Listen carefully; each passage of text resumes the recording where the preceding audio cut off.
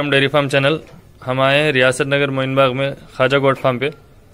ख्वाजा भाई के पास आज का न्यू स्टॉक ये देखिए रामपुरी मेल्स के अंदर है और ये बेबी शिप रामपुरी ब्रीड के अंदर फाइटर शिप जो होते वो है।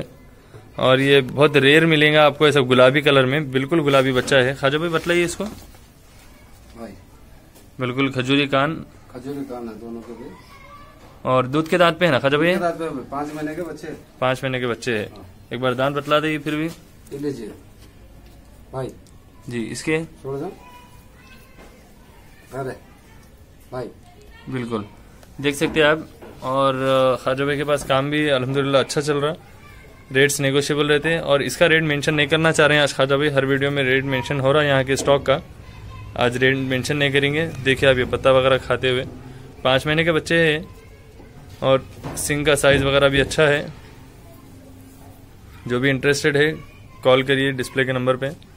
बात करिए। इसी की तरह बहुत से वीडियोस डालेंगे, जैसे लोगों का रिक्वायरमेंट आ रहा था डेयरी के भैंसों के वीडियोस और घोड़ों के वीडियोस के लिए।